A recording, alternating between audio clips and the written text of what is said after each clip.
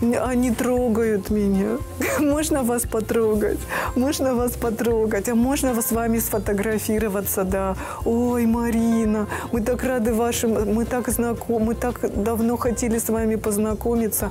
Но это чудесные люди. Чудесные люди – это челябинцы. В Челябинске, городе, где живет Марина, она знаменитость. Как раз благодаря тем платьям, которые Вересова шьет не только для других, но и носит сама. Чтобы у вас не сложилось впечатление, что путь Марины усыпан исключительно лепестками роз, над которыми она слегка парит, не замечая бренной действительности, скажем, что в ее жизни тоже случаются и потери, и сложности. Например, любимый человек не сумел принять ее успеха, и им пришлось расстаться. Вересовой приходится много работать, правда, и то, что ее дело приносит ей искреннюю радость, но она, как и все мы, временами приходит в состояние опустошения, а восстановиться ей помогают самые близкие.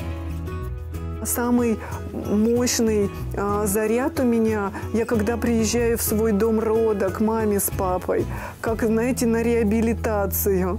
Приеду к ним, они у меня живут в деревне, и я к ним приезжаю, я просто сначала сплю полтора дня, проснусь, покушаю мам, мамочкиной вкусной еды. Мне там очень хорошо, как, знаете, как я соединяюсь с силой рода.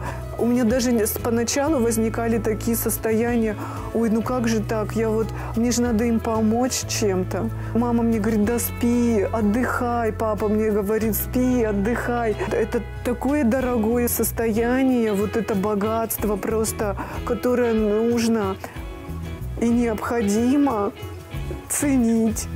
Глаза Марины наполняются слезами. Слезы эти – чувство благодарности за безусловную любовь, которую дарят ей родители. Они всегда поддерживали все ее начинания и не бросали камни упреков, когда у нее что-то не получалось.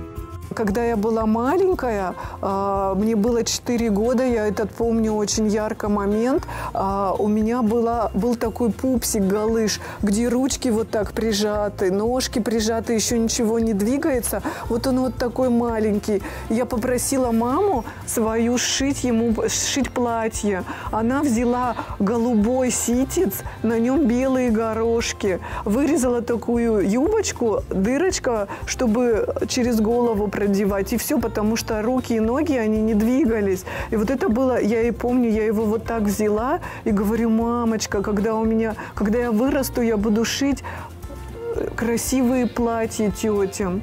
Она говорит, будешь, будешь, ты будешь это делать. И таким образом вся моя жизнь до сегодняшнего момента, она подсказывала и вела меня именно вот по этому пути.